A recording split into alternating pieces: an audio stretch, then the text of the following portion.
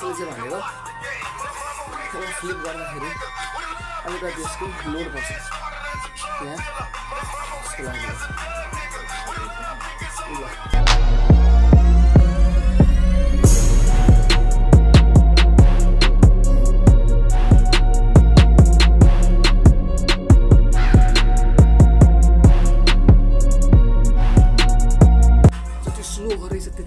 Best result दिन्छ डिप्सले चाहिँ भनेको होइन। त्यसले गर्दाखेरि मसल ग्रो हुन पाउनुपर्छ। मसल तन्किन पाउनुपर्छ त्यसले गर्दाखेरि मसल ग्रो हुन्छ। स्लो गर्नुपर्छ डिप्स